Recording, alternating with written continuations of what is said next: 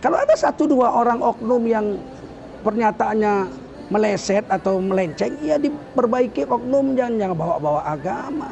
Pernyataan mengatakan agama adalah musuh terbesar bagi Pancasila ini sangat berbahaya. Seolah-olah agama ini memang memusuhi Pancasila. Enggak merdeka Indonesia kalau orang beragama. Yang ada di Indonesia enggak mendukung kemerdekaan. BPIP bubar saja. Ngapain?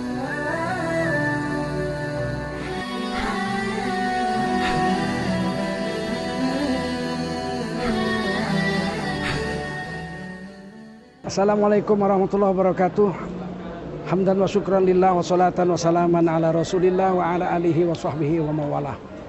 Allahumma salli ala Sayyidina Muhammadin wa ala alihi wa sahbihi ajma'in. Kaum muslimin di mana pun anda berada, khususnya di negara kesatuan Republik Indonesia. Ketika kemerdekaan terjadi, umat Islam mencapai 90% bagi negara NKRI. Dan Alhamdulillah semua umat Islam sepakat untuk memerdekakan Indonesia dan membentuk negara menjadi negara kesatuan Republik Indonesia.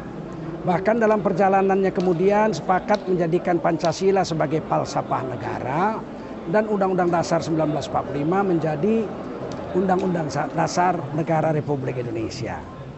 Tidak usah diragukan tentang ini. Berkali-kali ada ujian, pemberontakan-pemberontakan terjadi, PKI kah, ketika terjadi di Madiun tahun 48, tahun 65, terjadi reformasi, terjadi segala macam pergolakan, umat Islam tetap setia. Tetap setia dengan NKRI. Buktinya tidak ada pemberontakan yang berhasil di Indonesia. Dan kita ini sudah diwajibkan dalam Islam menepati kesepakatan. Ya ayyuhalladzina amanu aufu bil uqud. Wahai kamu orang beriman, wajib kamu menepati kesepakatan. Kesepakatan kita, negara kita NKRI, dasar negara kita Undang Dasar 45, falsafah negara kita Pancasila, semboyan negara kita Bhinneka Tunggal Ika. Ini kesepakatan. Maka disebutlah Indonesia ini Darul Ahdi Wasyahadah. Kampung atau negara dengan berdiri dengan kesepakatan dan persaksian daripada bangsa Indonesia yang jelas orang Islam punya saham 230 juta di Indonesia dari 267 juta rakyat Indonesia.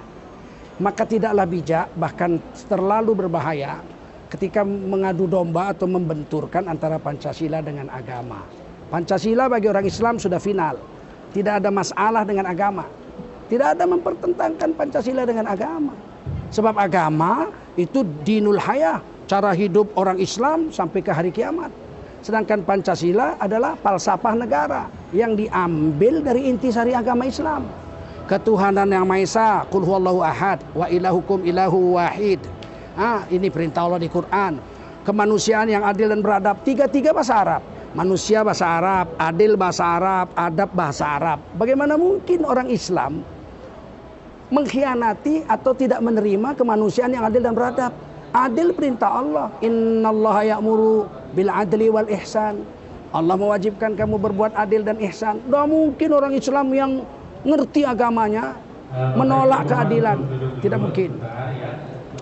Kemudian persatuan Indonesia.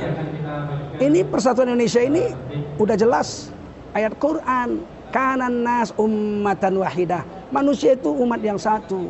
Kita ini orang Indonesia satu kesatuan dari Sabang sampai Merauke.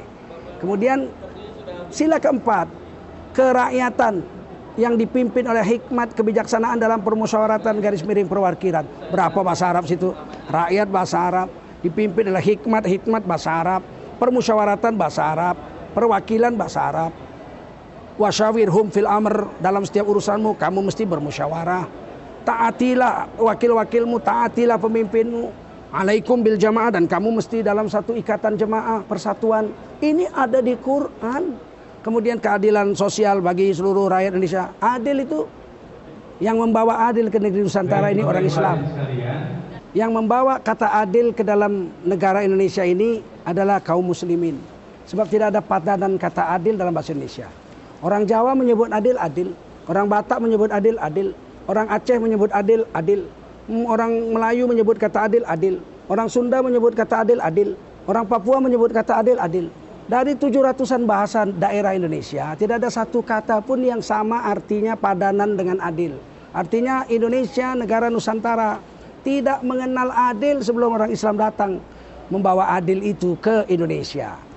Oleh karena itu tidak usah diragukan komitmen bangsa Indonesia yang beragama untuk tetap setia kepada NKRI dan Pancasila Undang-Undang Dasar 45. Kalau ada satu dua orang oknum yang pernyataannya meleset atau melenceng, ya diperbaiki oknum jangan jangan bawa-bawa agama. Pernyataan mengatakan agama adalah musuh terbesar bagi Pancasila ini sangat berbahaya. Seolah-olah agama ini memang memusuhi Pancasila. Enggak merdeka Indonesia kalau orang beragama. Yang ada di Indonesia enggak mendukung kemerdekaan.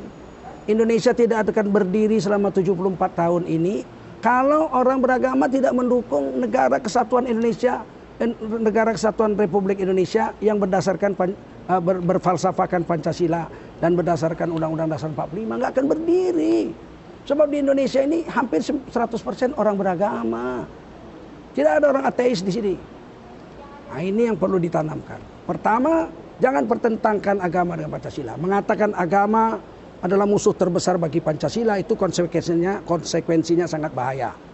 Kalau nanti dikatakan kalau agama musuh terbesar bagi Pancasila, terus yang mana yang harus dibuang?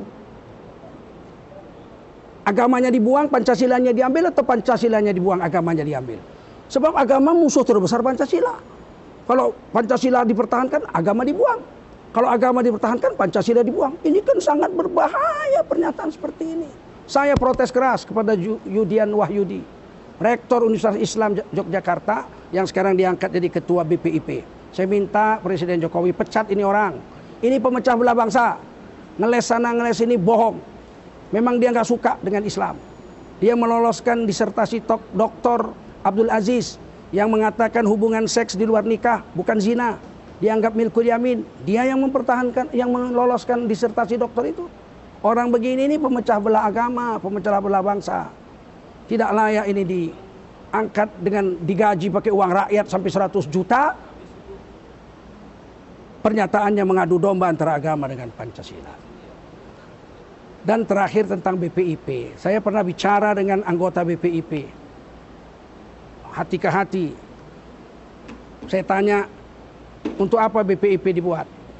Gajinya itu sebulan satu miliar, belum lagi pengeluaran staf ahli, belum lagi bayar kantor dan lain-lain. Apa kata orang tua yang saya tanya anggota BPIP ini. Dia mengatakan ini ide Presiden Jokowi. Targetnya adalah membuat garis-garis besar haluan negara, GBHN. Yang semenjak reformasi telah dibuang, nggak ada lagi.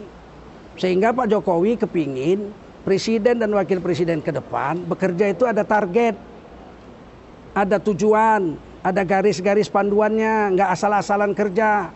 Hmm, tidak punya target, nggak ada, nggak enak. Maka beliau meminta BPIP membuat GBHN garis-garis besar haluan negara. Ini tugas utama BPIP dari Pak Jokowi dan tujuan utama dibentuknya BPIP, Ketua Dewan Pengarahnya Ibu Megawati, orang yang berpengalaman jadi presiden yang diharapkan bisa menghasilkan garis-garis besar haluan negara untuk menjadi panduan bagi presiden dan wakil presiden ke depan. Kenyataannya sudah dua tahun BPIP berdiri, GBHN nggak ada.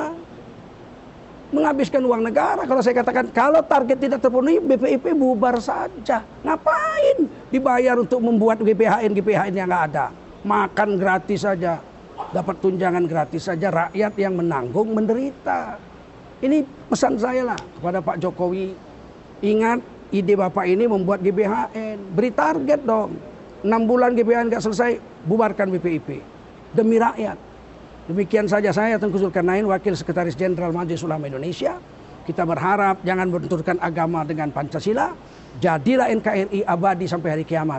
Menjadi negeri yang baldatun, thayyibatun, rabbun ghafur. Wassalamualaikum warahmatullahi wabarakatuh. Assalamualaikum Bersama saling sapa TV